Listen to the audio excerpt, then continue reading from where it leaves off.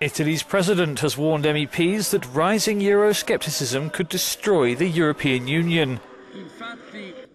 Giorgio Napolitano was heckled by members of the nationalist Northern League as he made his speech at the European Parliament in Strasbourg.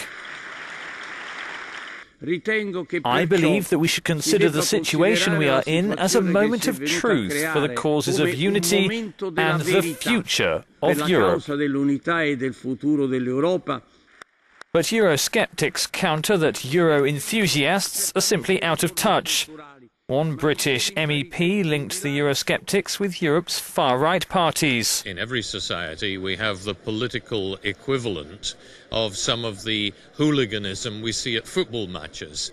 Uh, and that you see with the United Kingdom Independence Party, with the Lega Nord here, uh, with the Front National from France. But I recognize that we will have growing numbers of MEPs here from populist or extremist parties.